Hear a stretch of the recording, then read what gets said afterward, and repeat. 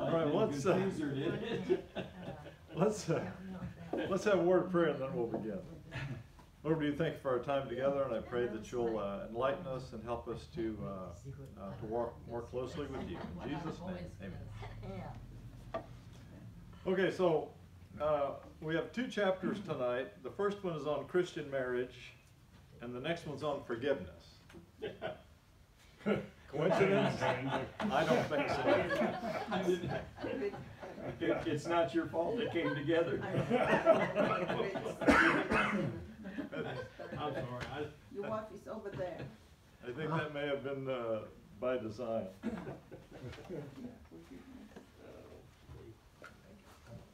you seen Laura? Was she at the park with them? Said Joanne's going to track her Oh, down. she was coming to you. Oh, very good. Okay, so uh, chapter six, Christian marriage, uh, begins. The last chapter was mainly negative, which was on uh, chastity. I discussed what was wrong with the sexual impulse in man, but said very little about its right working. In other words, about Christian marriage. And, uh, and there where he talked about the Christian viewpoint on chastity is uh, uh, either sex within marriage or complete chastity. um, first, uh, Christian doctrine on this subject is extremely unpopular. And uh, he also acknowledges that when he wrote this book, he had, he was not had never been married, uh, but he did marry later on, later on. The Christian idea of marriage is based on Christ's words that a man and wife are to be regarded as a single organism, for that is what the words one flesh would be in modern English. He is not expressing a sentiment, but stating a fact. No answer, tried about six times. Okay. Uh, so anyway, so so uh, this this is given to us as just a fact that uh, the two shall become one, and he uses the example of a uh, a violin and a bow.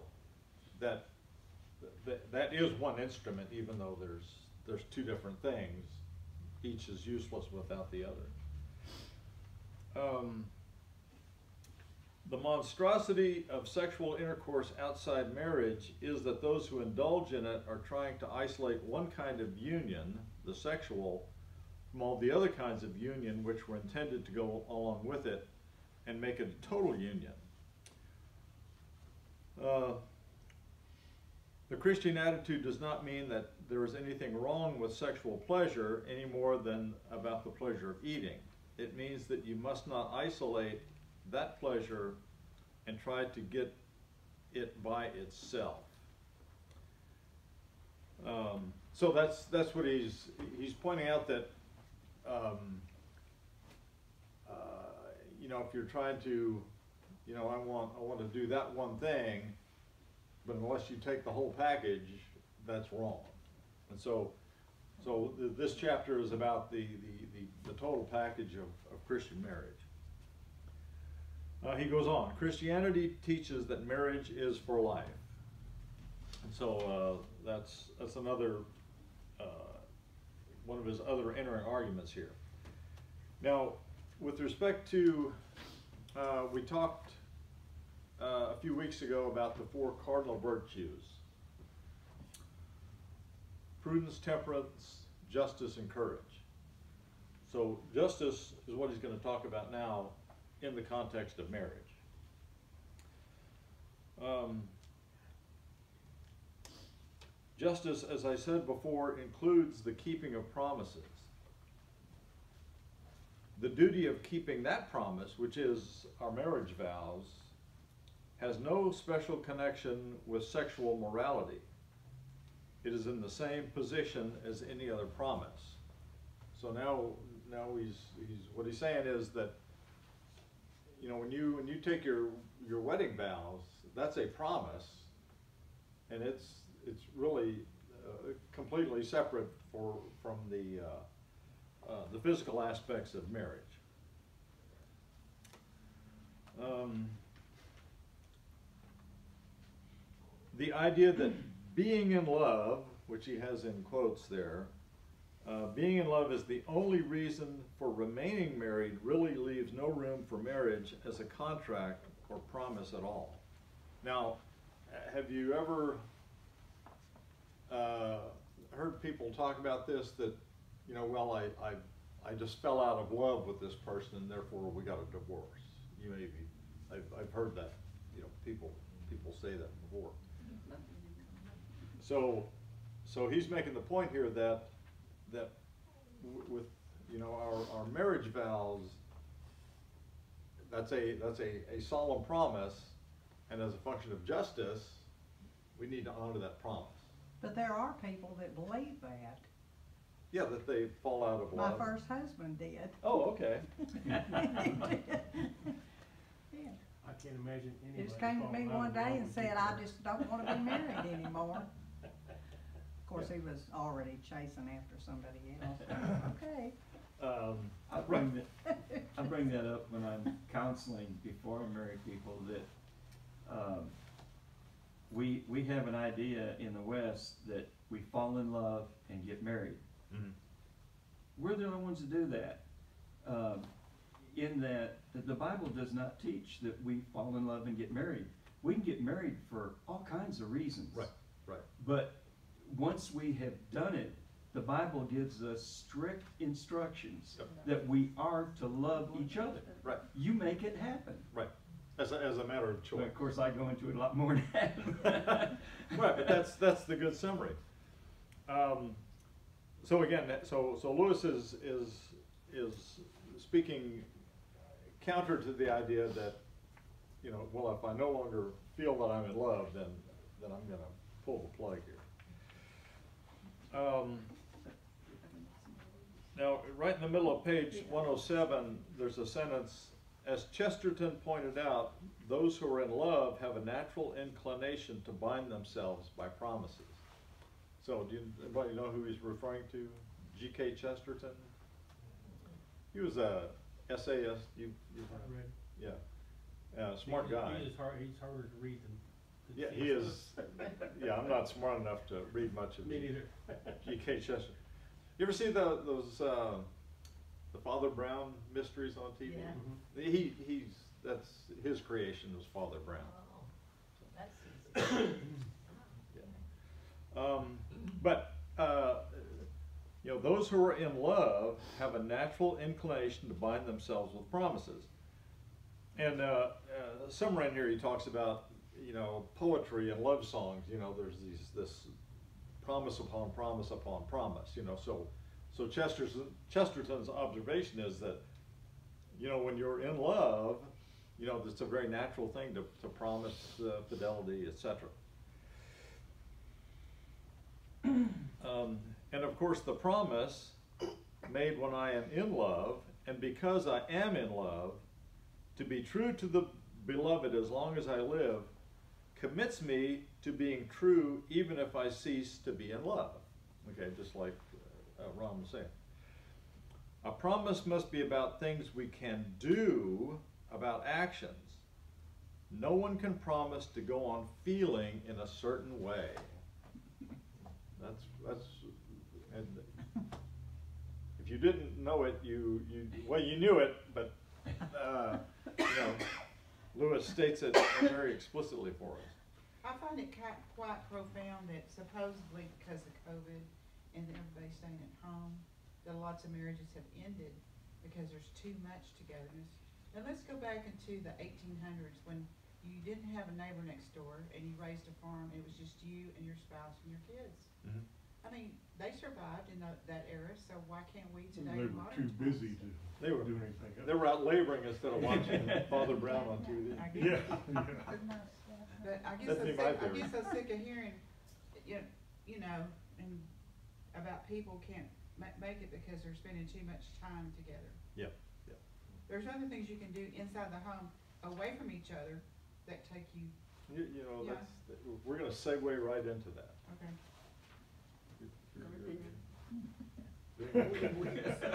Be calm. Um, But what, it may be asked, is the use of keeping two people together if they are no longer in love. There are several sound social reasons, and one of them is to provide a home for their children. Uh, also, he lists to protect the woman who was probably sac- who has probably sacrificed or damaged her own career by getting married from being dropped whenever the man gets tired of her. I think that's a big, uh, reason for so many divorces is the woman working. I thoroughly, thoroughly believe that if the women had stayed home, where I personally think they should have been, that there would be less marriages. And in the olden days, your parents put up with a lot of stuff. They didn't run out the door and get a divorce the first time there was an argument, a yeah. disagreement. And they've made it so easy Mhm. that, hey, I'm fed up with this, I'll go get a divorce, why, I'm in cap, what's that word? In, cap, In- back, no, Incompatibility. incompat- I couldn't even think of I it. didn't even get it Yeah, right. Yeah, Yeah, yep. Um, Well, you have that concept, and then you have the man at work and comes home to the wife who's at home with the kids, who's not worldly enough and doesn't understand what's going on in society, who doesn't meet his need of, you know, so he get, he gets wandering in the workplace for somebody that meets his right. expectations. It all yeah. boils down to sin. Yeah, That's exactly. Um, okay, I'm gonna jump to the bottom of page one oh eight. But as I said before, the most dangerous thing you can do is to take any one impulse of our own nature and set it up as the thing you ought to follow at all costs. Now, he has made this point before, and this is another, another thing to ponder because, you know, it can apply in, in oh so many ways. Um, and I'm drawing a blank here as an example, but, um, uh, but if you, if you just focus on one particular thing without, without kind of having a balanced approach, then, then you can get a little bit out of whack. Um, yeah, well, let's just take the four virtues, prudence, temperance, justice, and courage.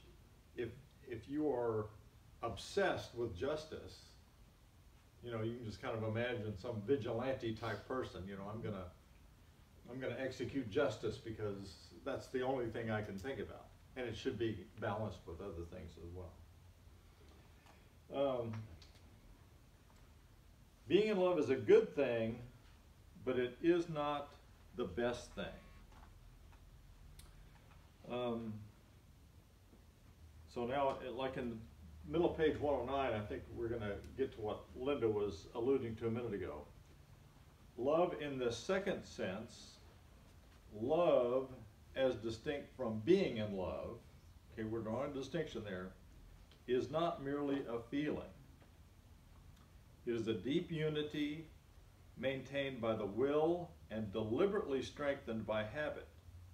Okay, back to habit, you know, we were talking about that mm-hmm. just recently. Um, and again, it, this love is reinforced in Christian marriages by the grace which both partners ask and receive from God.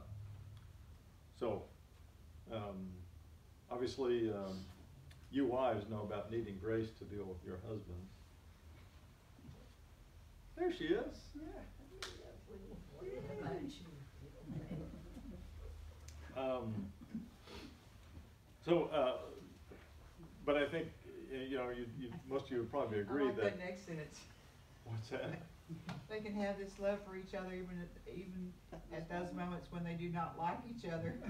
and you love yourself even when you do not like yourself. Yeah, That can happen. well, actually, that's, There are times that you really get mad at your husband or wife. But to me, you don't stop loving. I don't know. well, but that's, but, but again, th- there are, there are folks who are, who are susceptible to falling out of love, and this is, these are words that should encourage them to. Oh, we all have our ups and downs, we have our little spats, mm-hmm. you know, but we still love each other, what the Yeah, doctor that's is what I saying. said. You don't stop loving someone. know, you don't stop loving, you just get mad and then you get glad. That's it.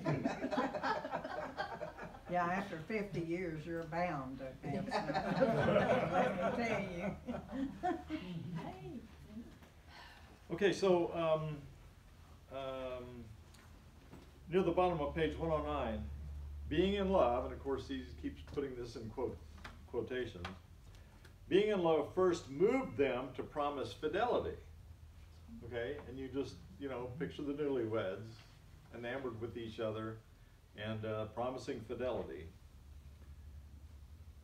But now he's, what, what he's gonna talk about is moving past you know, being, being wrapped up with this person and, uh, you know, all that gooiness that we feel, you know, uh, when we first meet somebody. Um, and he talks about the quieter love. This quieter love enables them to keep the promise. Okay, and I think that's kind of what you were talking about a minute ago, right, Linda? That's, you know, we kind of moving past, um, all this giddiness of being in love and, and it becomes much deeper. Lewis re- refers to it as a quieter love. Uh, that's what enables them to keep the promise of their marital vows. It is on this love that the engine of marriage is run. Okay, that's this quieter love is what what keeps the train moving down the highway, down the down the tracks. Okay. But then the end of the sentence is, being in love was the explosion that started it. And, uh, you know, I think that's a pretty, pretty good description as well, that, you know, it, it, it takes, you know, being in love to, um, to cause you to make this commitment to the other person. But then once that giddiness tends to fade away, you know, you need this quieter love to, to, uh, to keep everything in motion. That's true love, just like how Jesus loved, it's true love, you know, that you are willing to sacrifice, you know, for your husband or for your Mhm. kids. Right. You know, you do whatever it takes, you know. Sometimes you don't feel like cooking, but you know, I, you know, he's hungry, so you have to cook.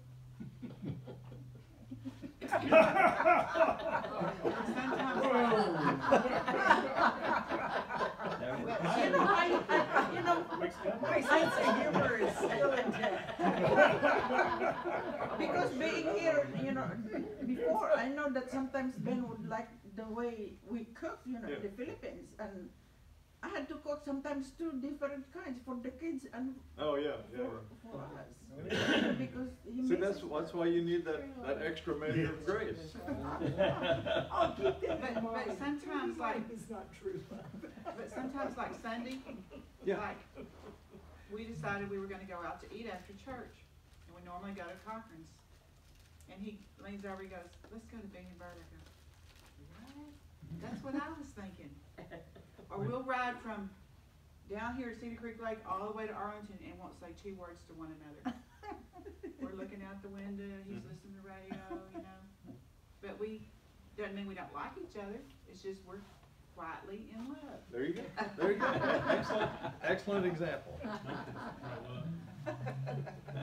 Uh, Top of page one ten, uh, our experience. But that's the end you got. uh, that is the, the, the, the way our thought processes work, our experience is colored through and through by books and plays and the cinema, and it takes patience and skill to disentangle the things we have really learned from life for ourselves.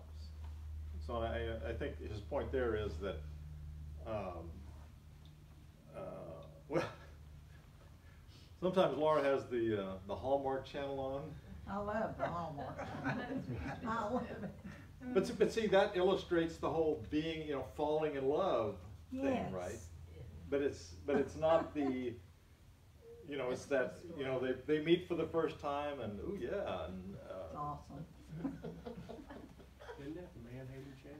I, well, I don't, I don't, I don't watch much of it.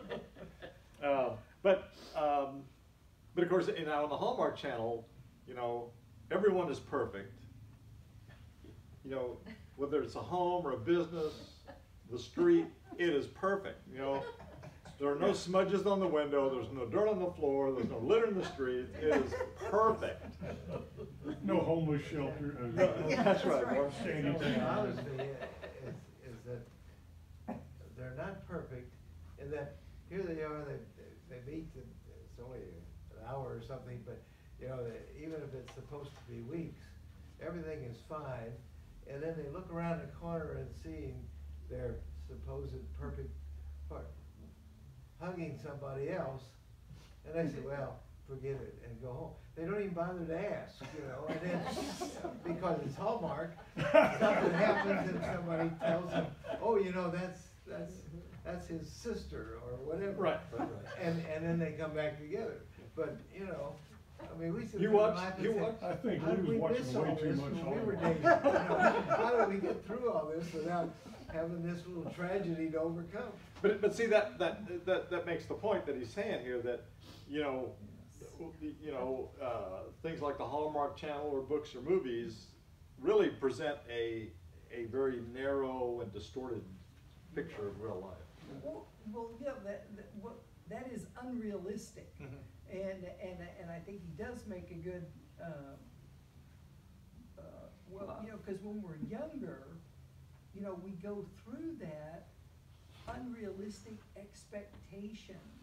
And supposedly by maturing and experience in real life, we, we temper our expectations, so it is, you know, it is more to, to real life and to take more caution.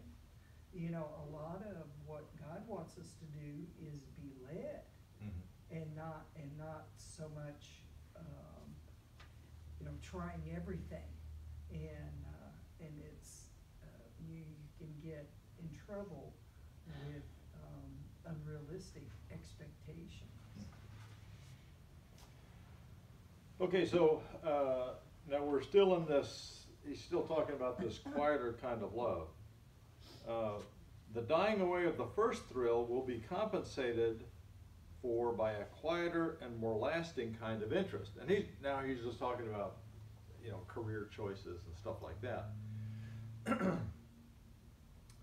What is more, and I can hardly find words to tell you how important I think this is, it is just the people who are ready to submit to the loss of the thrill and settle down to the sober interest who are then more likely to meet new thrills in some quite different direction.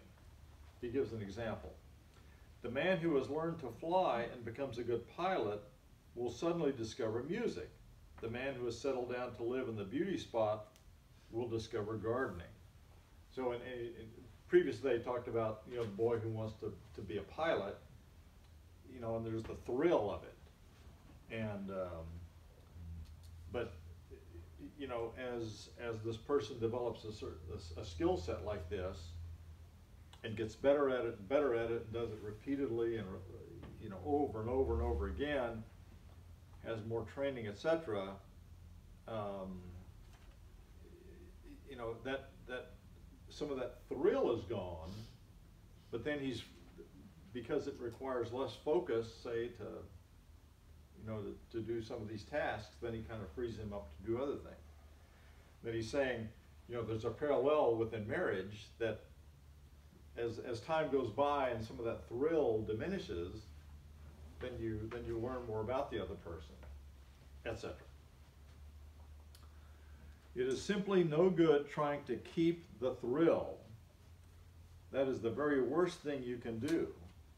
Let the thrill go, let it die away, go on through that period of death into the quieter interest and happiness that follow, and you will find you are living in a world of new thrills all the time. Okay? So, so he's, he's coaching us here that, maybe the, the, the maybe, maybe we needed to hear the coaching a long time ago. You know, as, but as the, as the thrill of your, of your marriage, you know, might subside a little bit, then it should be take, other things should, should take, the- take its place. And that should be a natural progression, and, uh, and I think there's a lot of wisdom there. Uh, it is because so few people understand this that you find many middle-aged men and women maundering about their lost youth at the very age when new horizons ought to be appearing and new doors opening all around them. So same sort of thing, you know, where, uh, you know, if you think, well, I've, um, the thrill is gone, I must no longer be in love and I'm gonna go somewhere else. Well, no. Let the thrill fade away because if you simply go pursuing that thrill, um, I bet these people, you know, they have three or four ex-wives. So I think they were pursuing the thrill and, uh, and it just led to, to heartache, not in. Let me go get Jim.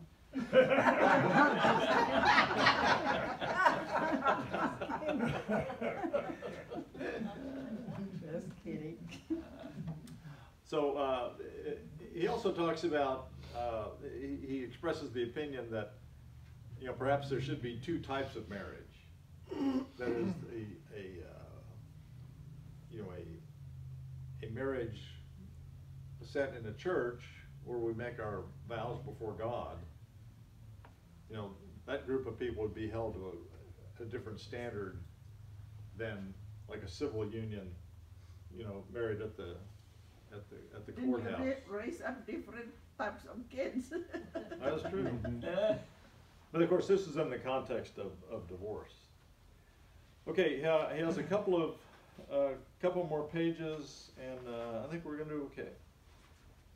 Christian wives promise to obey their husbands. In Christian marriage, the man is said to be the head. Okay, you remember that from, from your vows, perhaps. So the first question is, why should there be a head at all? Why not just equality between the two? And then the next question is, why should it be the man? And he, he, he answers these questions. Uh, with respect to, you know, why do you need to have a head of the home at all? He says, if marriage is permanent, one or other party must, in the last resort, have the power of deciding the family policy. But that's God's plan, you know, man, and then you, a woman, you know, you're under the umbrella of God's protection. And if you get away from that, then you expect trouble because there'll be temptation everywhere. But if you are under God's protection, you know, marriage in the church, then the man, that's how he put an order. We have to Right. obey how God had instituted. And, uh, I- and I, and I think what Lewis is trying to do is to, to explain why the policy works. And that is that you cannot have a permanent association without a constitution. So it's, it's just, you know, he's explaining how the order that God gave us has a, has a valid function to it. And then, then the next question is, if there is a head, why would it be the man? because God created him first. There must be something unnatural about the rule of wives over husbands, says C.S. Lewis. Because the wives. It's not bad. Because the wives themselves are half ashamed of it and despise the husbands whom they rule. Now, I'm just gonna not comment on that. Uh, We, we call, we call that in our language under the saya, you mean you are under the skirt. You know, if a, a guy doesn't stand up and is not the head of the family, Yeah, we call them under the saya, women Ah. under the skirt. oh, okay. Under, Yeah, under the skirt, yeah. yeah. The relations of the family to the outer world. Now, you know, just think of your family as a unit, and, and we, we deal with the rest of the world in various ways. Lewis refers to that as our foreign policy, must depend in the last resort upon the man, because he always ought to be, and usually is, much more just to the outsiders. A woman is primarily fighting for her own children and husband against the rest of the world. So he's, he's pointing out how, because women have the protective, nurturing nature, that it's, it's better that they not go and confront, um, the neighbor with the loud dog or something, you know, because the husband, Lewis says, will be more just in, in Women, dealing with. women are more emotional, That's true. Mm-hmm. and that, that, that covers it all, Yeah, right. I think. Well, isn't it true in any organization that you want the best people doing certain jobs? Mhm. And I was a computer programmer and, and, and very good at it, but I didn't know anything about running a bank.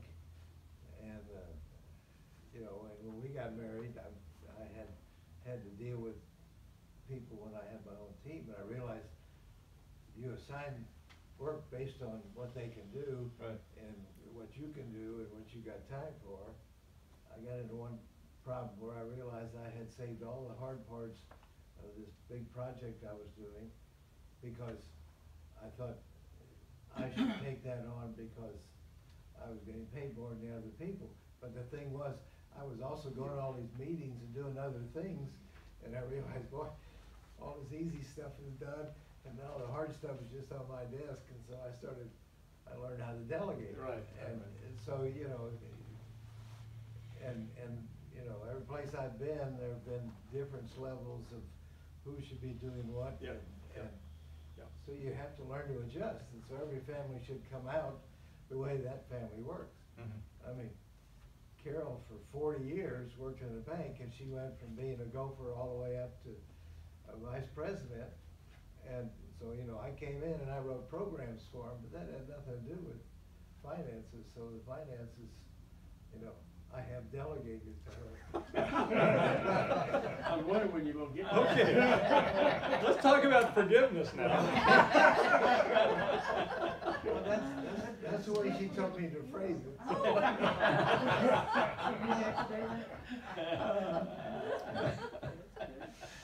Oh, okay, uh, forgiveness.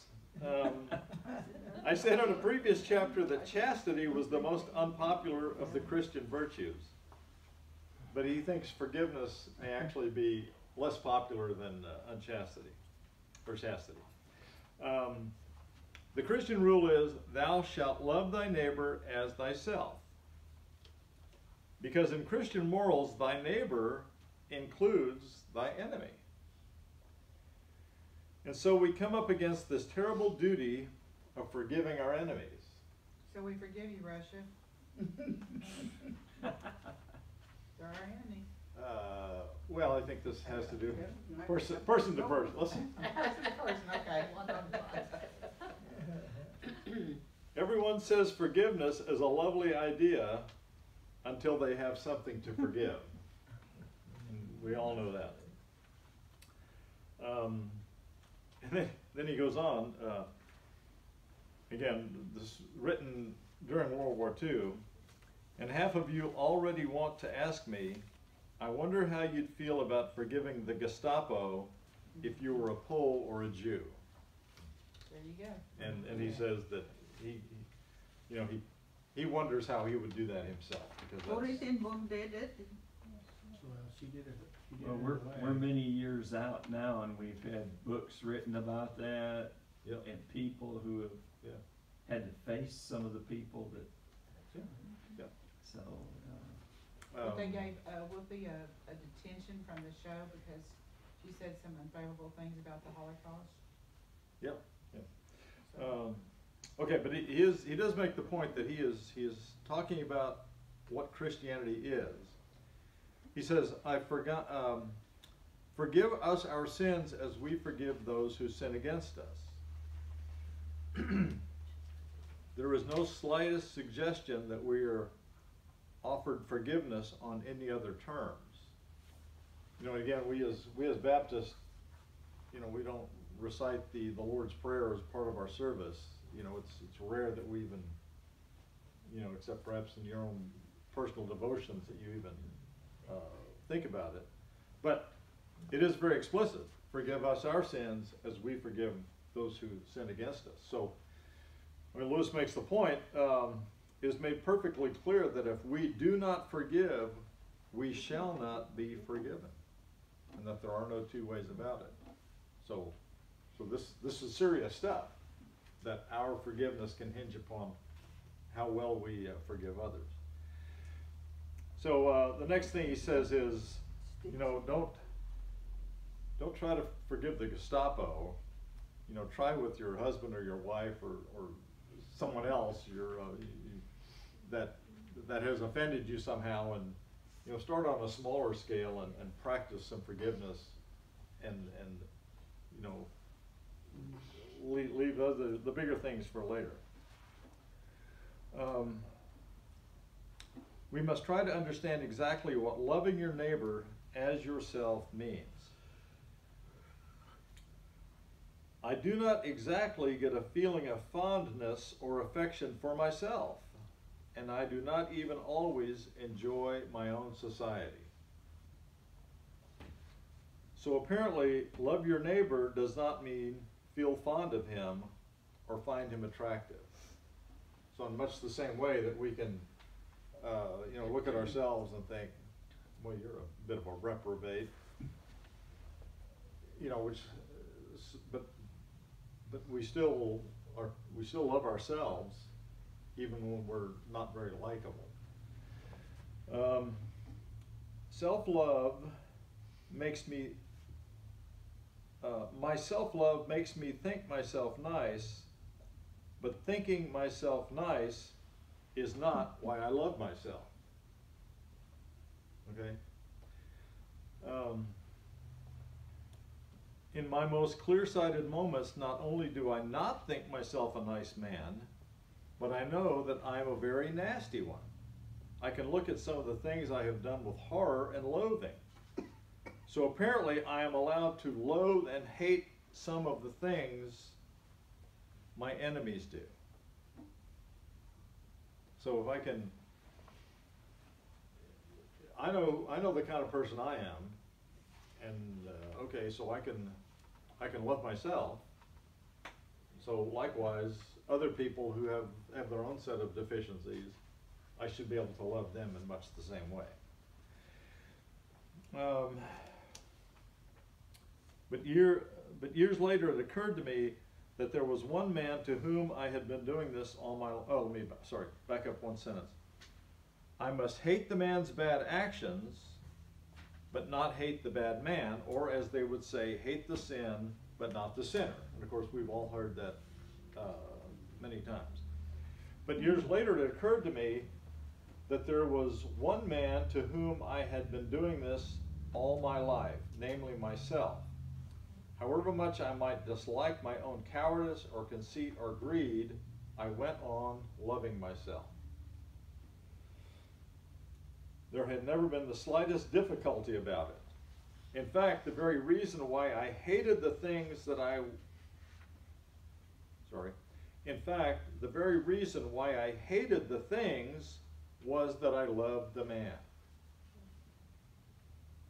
Just because I loved myself, I was sorry to find that I was the sort of man who did those things. Consequently, Christianity does not want us to reduce by one atom the hatred we feel for cruelty and treachery. We ought to hate them. Okay, so I love myself in spite of the deficiencies I have, so just extend that towards other people. Um, but it does not want us to hate them in the same way in which we hate things in ourselves. Being sorry that the man should have done such things and hoping, if it were any way possible, that somehow, sometime, somewhere, he can be cured and made human again. Okay? So, uh, the, the, the old adage that we've heard so often, uh, hate the sin but love the sinner, you know, that's, you know, C.S. Lewis explains how that works here, and that's how we ought to live our lives. Um, does loving your enemy mean not punishing him? No. And he goes, he goes on to uh, like give the example of a, of a like a criminal case. You know, so essentially, if you're on a jury, the thing not to do is to say, well, I'm just I'm a Christian, and I'm not going to, you know, judge that person. Well, that's Lewis says no. It's it's correct to to uh, uh, to bring justice toward that person. Um, What I cannot understand is the sort of semi-pacifism you get nowadays, which gives people the idea that though you have to fight, now again, the context is, is wartime, uh, though you have to fight, you ought to do it with a long face and as if you were ashamed of it. It is that feeling that robs lots of magnificent young Christians in the services of something they have a right to, something which is the natural accompaniment of courage, a kind of gaiety and wholeheartedness. So it's, you know, he's, he's speaking directly to many people in his audience who were on active duty in wartime that, uh, you, you know, yes, that is our enemy, but it is appropriate for you to, uh, to engage them as, as required. Remember Christians, uh, remember we Christians like, sorry, remember we Christians think man lives forever. Therefore, what really matters are those little marks or twists on the central inside part of our soul which are going to turn in the long run into a heavenly or a hellish creature. So this goes back, uh, it was last week or the week before, where he talks about the, you know the inner person that does the choosing, and and he he uh, gave us the idea that when we when we make correct choices, then, then that inner person gets aligned properly as it should, and that leads us in a heavenly direction. That is, we become more fit for heaven. But if we continuously make wrong choices, that inner person gets twisted up, and uh, not so much of a uh, in in war, you know, you have to kill your enemy. I mean, even in the Old Testament, when Jesus, I mean, when God told the Israelites, you have to wipe them out, you have to destroy all of them. They made a sin when they lived a few, right, right. because then it corrupted, you know, the the way they live later on. Mhm. So you know, to me, you know, when it comes to principle like on in war, you know, you Yeah. have to. You don't want to. It, it's um, during it's time, but Mhm. during war, I think you have you have to do it. Okay. It's like the, in World War One, when the, when they were in the trenches, and the holiday came around, they got together and celebrated the holiday, German and American, and Yeah. then, and when the, that was over, everybody back to the Yep. trenches, were back at war. Yeah, yeah, that was a unique situation. I Okay, want we have to one. share oh. one thing though, um, I had Dan Gott come in to talk to my sixth grade girls, he and his wife, uh, uh, and he was talking about, uh, and it's specifically, we wanted him to talk about the war. Mhm. And he indicated that when it got down to the end of the war, that the Germans were putting twelve and thirteen-year-old boys with rifles in their hands, and Mhm. he started weeping, Mhm. and he said, and I had to kill them. Yeah, yeah, Yeah, Yeah. Because it brought the war to an end. yeah. Yeah. But he killed them or they killed him. Yeah. Yeah, Horrible that's- choice. That's war, Mhm. but it broke his heart Mhm. to do that. Okay, so the final uh, paragraph. I admit that this means loving people who have nothing lovable about them. Perhaps it makes it easier if we remember that is how He, capital H, loves you or loves us. Not for any nice, attractive qualities we think we have, but just because we are the things called selves. For really, there is nothing else in us to love. Creatures like us who actually find hatred such a pleasure that to give it up is like giving up beer or tobacco. Referring to hatred as a, as a, uh, an addictive behavior, like other things.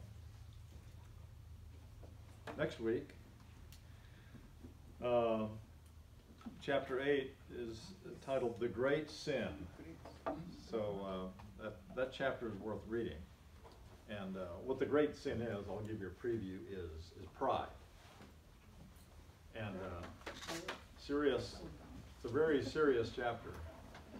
Um, But we, what we, what we want is humility to, to counteract our pride. He did pretty good never to have been married before.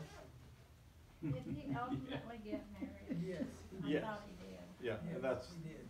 uh, the, but at the time of this writing, he was not. uh, the movie, uh, about that is titled Shadowlands, which is very good. Okay, Did you ever have children? uh, none of it, I No, I think it was, but he did take care of his stepson, yeah, couple, one or two steps on. yeah. Okay, any other thoughts before we go?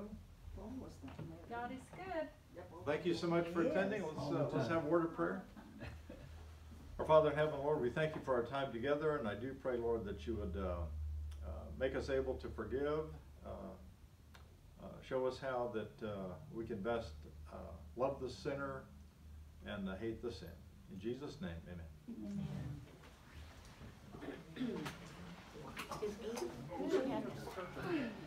No.